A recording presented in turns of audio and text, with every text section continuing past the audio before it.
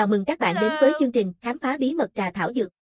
Trong tập này, chúng ta sẽ bàn về bệnh cao huyết áp, một căn bệnh phổ biến ở người trung niên và cao tuổi.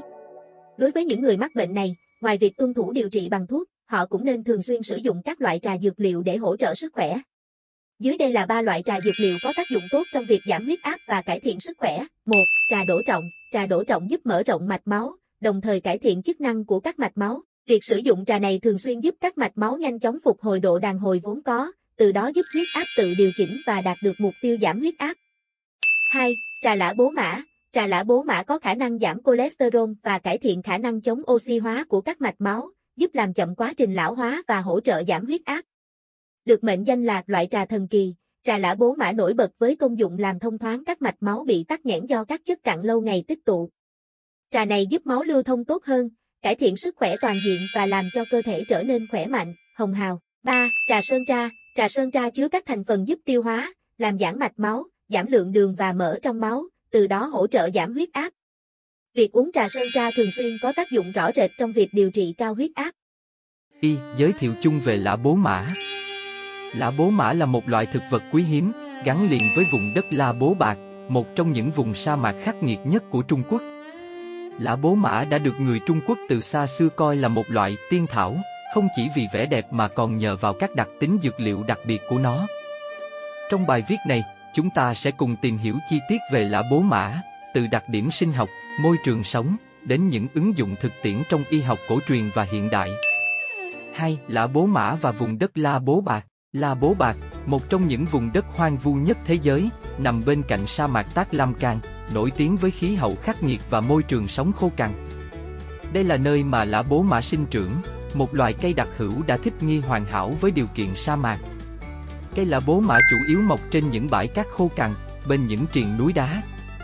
Điều kiện đặc biệt này không chỉ khiến lã bố mã trở nên độc đáo mà còn tạo nên những giá trị dược liệu mà ít loài cây nào có được.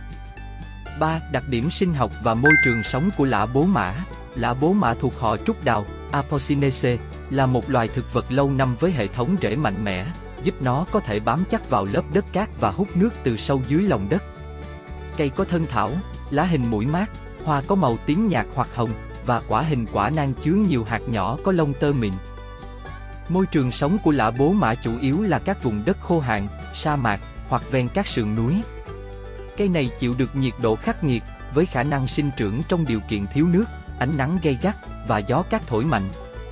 4. Quá trình thu hoạch và chế biến lạ bố mã Việc thu hoạch lạ bố mã không hề dễ dàng do điều kiện tự nhiên khắc nghiệt của vùng sa mạc. Thời điểm thu hoạch tốt nhất là vào mùa hè, khi cây bắt đầu nở hoa và tích lũy tối đa các dược chất. Người dân địa phương thường phải đi sâu vào sa mạc, đôi khi mất cả ngày để tìm thấy những cây lạ bố mã trưởng thành. Sau khi thu hoạch, lá cây được phơi khô và chế biến thành các sản phẩm như trà hoặc dược liệu. Quá trình chế biến bao gồm việc hấp và sao khô lá để giữ nguyên các hoạt chất có lợi. Các lá non sau khi được xử lý có thể dùng để pha trà, với hương vị thanh mát và công dụng giải nhiệt, giảm căng thẳng. 5. Lã bố mã trong y học cổ truyền và hiện đại Lã bố mã đã được sử dụng trong y học cổ truyền Trung Quốc từ hàng ngàn năm qua.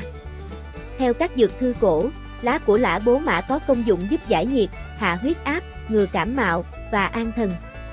Các nghiên cứu hiện đại cũng đã chứng minh rằng lã bố mã có chứa nhiều hoạt chất sinh học như flavonoid, glycosid và alkalit, có tác dụng chống oxy hóa, chống viêm và bảo vệ tim mạch.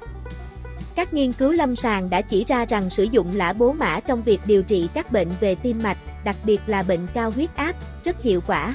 Ngoài ra, lã bố mã còn có tác dụng làm dịu hệ thần kinh, giúp giảm căng thẳng và cải thiện giấc ngủ. 6. Những ứng dụng thực tiễn của lã bố mã Không chỉ được sử dụng trong y học, lã bố mã còn được ứng dụng trong nhiều lĩnh vực khác nhau. Lá và thân cây lã bố mã có thể được dùng để làm sợi, sản xuất các sản phẩm từ giấy và vật liệu xây dựng. Các hoạt chất từ cây này cũng đang được nghiên cứu để phát triển các sản phẩm chăm sóc sức khỏe và làm đẹp. 7. Lã bố mã và văn hóa dân gian Lã bố mã cũng gắn liền với nhiều câu chuyện và truyền thuyết trong văn hóa dân gian Trung Quốc. Người ta tin rằng uống trà từ lã bố mã có thể kéo dài tuổi thọ và giúp con người tránh được nhiều bệnh tật. Cũng có những câu chuyện kể về những người lữ khách vượt sa mạc đã tìm thấy lã bố mã và nhờ đó mà sống sót qua những thời kỳ khó khăn. 8. Kết luận Lã bố mã không chỉ là một loại thực vật quý giá về mặt dược liệu mà còn mang trong mình những giá trị văn hóa, lịch sử đặc biệt. Từ những đặc điểm sinh học độc đáo, khả năng thích nghi với môi trường sống khắc nghiệt, đến những ứng dụng phong phú trong y học và đời sống, lã bố mã xứng đáng được nghiên cứu và bảo tồn. Việc hiểu rõ về lã bố mã không chỉ giúp chúng ta có thêm kiến thức về một loài cây đặc biệt mà còn giúp bảo vệ và phát triển nguồn tài nguyên thiên nhiên quý báu này. Cảm ơn các bạn đã theo dõi video này.